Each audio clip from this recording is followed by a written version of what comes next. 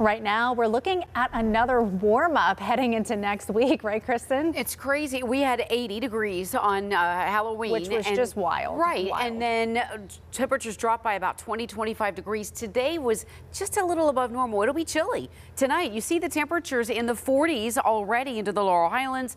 We're at 43 in Somerset, Washington, and Beaver are down to 49. Butler, you're at 48. Indiana, 45. Latrobe, 46. And we'll dip down there about another 10 10 to 12 degrees by tomorrow morning into the 30s, which is normal for this time of year. But what's not normal is that we start another big warm up tomorrow afternoon. The first step into the 60s by tomorrow afternoon. So that'll be about five to seven degrees warmer than average for this time of year. And then that's just step one. By Monday, Tuesday, we're in the 70s, even close to 80 degrees, possibly. Record temperature maybe on Tuesday. 80 degrees is not out of the question. Some models are hinting at 79, 80 degrees. 80 is the record high set on Tuesday in 1948. And by the way, November 5th, 1948, that's the latest in the year on record that Pittsburgh hit 80 degrees ever we could do that and tie that again on Tuesday. So we shall see. The question is going to be how soon will a cold front come in that will bring us clouds and hopefully a little chance for some rain later Tuesday night. If it takes its time, we could see close to record highs across portions of the Northeast. The long range temperature trend, this is November 10th through the 16th from the Climate Prediction Center. A very good chance that we'll still stay above normal temperatures for really the whole eastern half of the country through the middle of the month. Now, the drought monitor has not improved either. As you might have guessed, we still have exceptional drought extreme drought down through southwestern portions of Greene County and even severe drought through Washington and Greene County.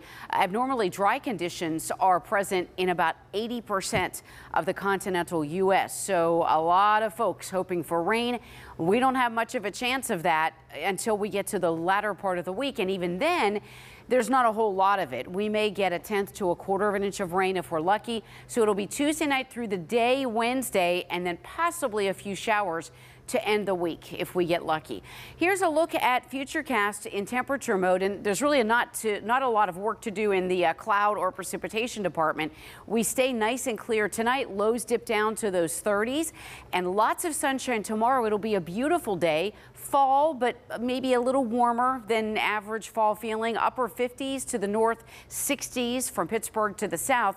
Then clouds begin to roll in Monday morning. We're only in the 40s for Monday morning, a little warmer than tomorrow. And then as we head toward Monday afternoon, the high 71. By Tuesday, we'll be headed toward close to 80 degrees. 34 and clear tonight, 65 tomorrow. A little warmer than today, but still very, very nice, comfortable fall day. Don't forget to change your clocks. We fall back tonight, turn the clocks back an hour.